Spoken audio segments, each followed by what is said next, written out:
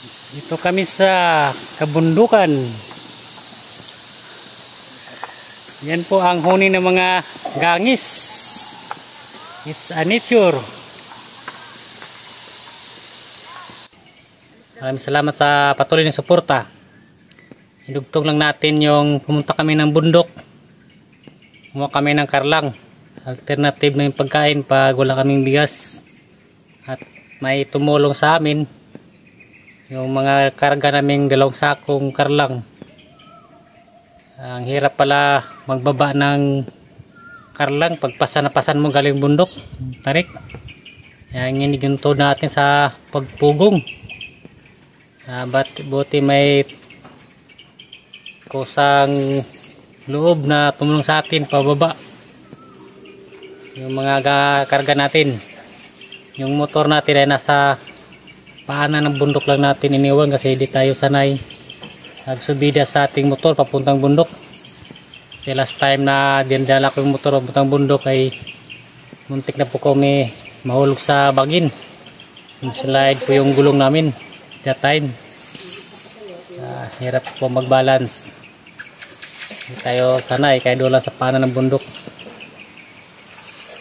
Uh, pag mga sa akin sa inyo kaibigan please like, share, subscribe para maging update ka sa aking upload at makatulong ka din sa aking pamilya. At kindly support sa ating Facebook page Patuloy TV Mix Vlog sa aking YouTube channel Patuloy TV Mix Vlog. Yon tuloy lang natin yung upload natin. Limited water. Galing sa bukal ano, bundok. Unlimited water pag inom mo yan hubang lamig. Parang nasarit.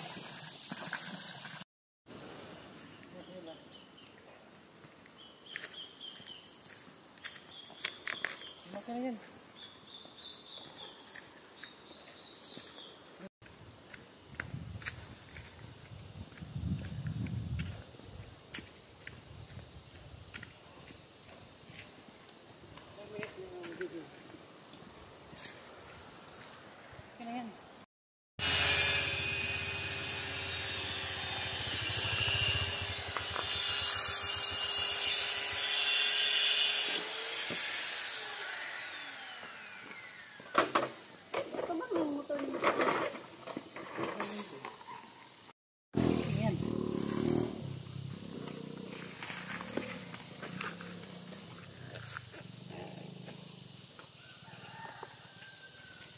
yung kurlang ng karga mga kaibigan. May tabang sa amo pagbahada. Pwede yung anad sa ubos.